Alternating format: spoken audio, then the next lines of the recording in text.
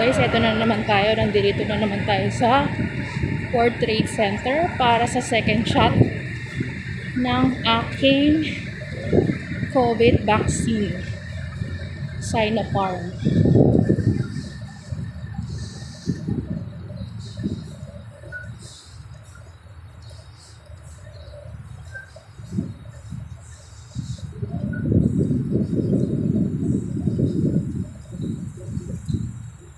Hindi ko nga pala nasabi sa inyo guys nung last time yung first uh, dosage ko, first shot ko ng Sinopharm.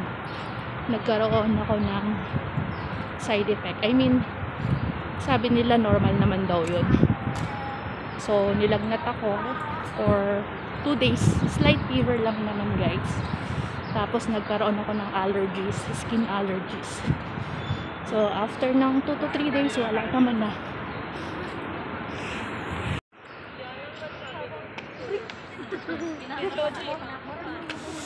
Sana entry. Ministry of Health Prevention.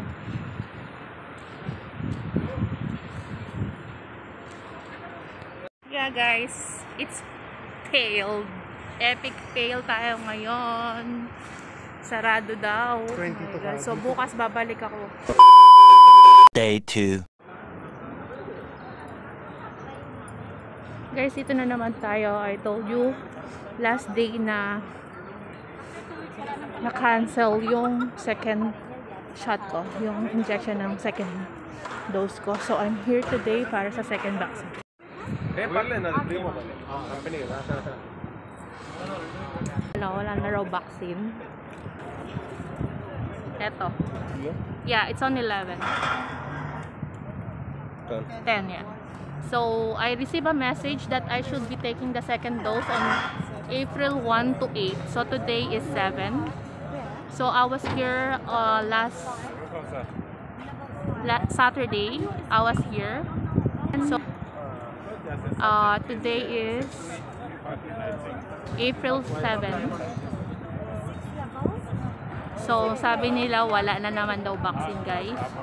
So, I need to come back here again after 2 weeks to get my vaccine.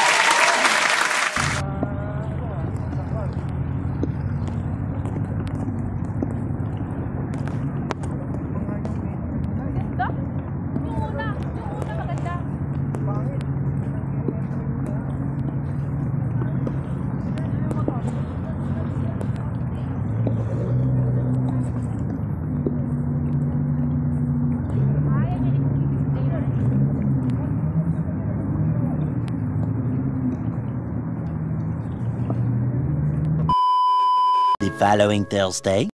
Yan guys. Papunta ako ng trade center again.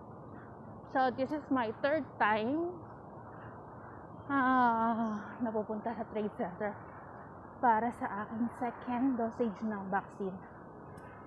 So let's see. Sana matuloy today.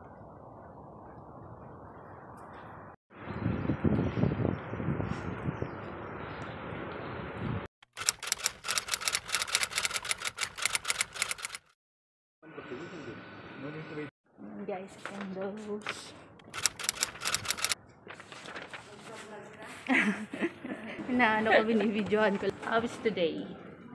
Very, today, there's a lot of people. Every day uh, we give vaccine Yeah. five vessels. Okay. Check it out. Okay, it's okay. Remove. Um, um, My BP is fine. PP fine as you fine. I'm fine. I'm healthy. this dosage is more than the first time, right? Or it's the same? It's the same so far. Yeah, I mean the dosage, the, the, the amount of the... Oh, it's the same. It's the same. Okay. Only like that. ah. I will not show your hand only.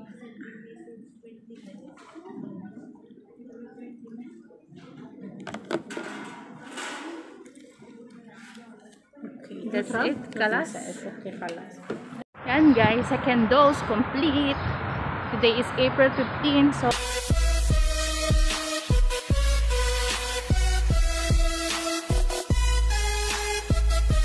A few moments later. guys, after 30 minutes ng second turo ko, ito, medyo groggy na ako. Ang bilis ng epekto sa akin. Ah, nakakapal na yung labi ko, tas nangihina na ako. Nangangatog na yung buong kalamnaan ko. Pero kumain ako before ako magpunta. Nag-almusal ako guys. So, nakakaramdam ako ng panghihina.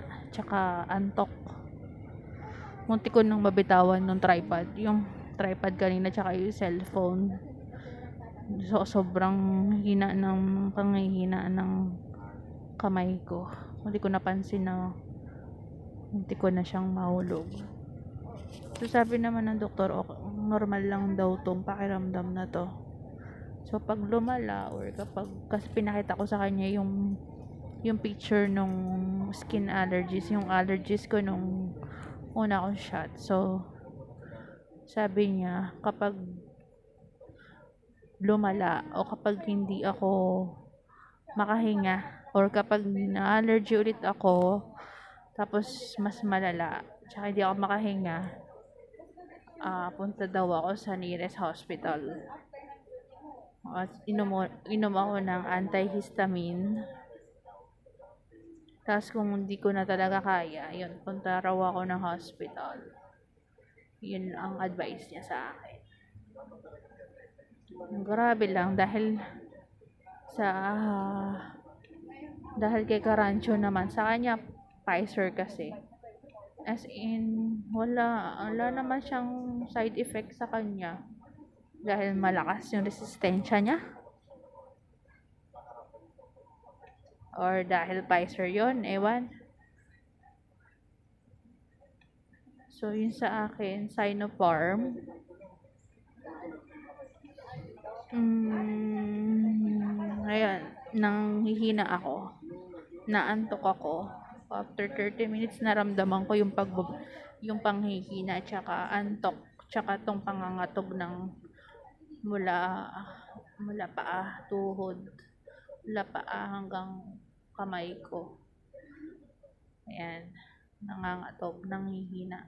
Tsaka mabigat, mabigat yung kanang kamay ko. Diyan ako in-injection nun eh. Mabigat siya. Tapos tong labi ko nangangapal. Medyo kinakapos ako ng konti ng hininga. So, let's observe. Update ko kayo guys. Okay? Idlip lang ako.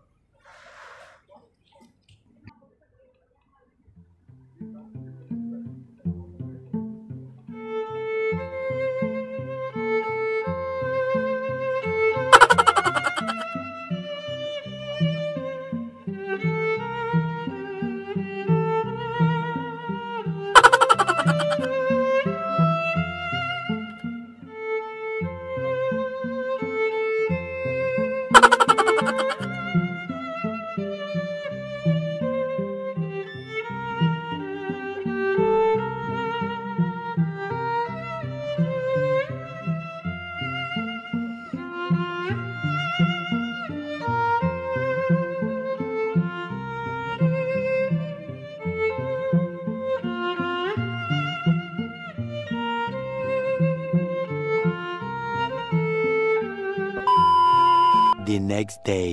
Hi guys! Welcome back! Hindi ko na nga pala kayo na-update doon sa aking pag-uwi after ng vaccine ko.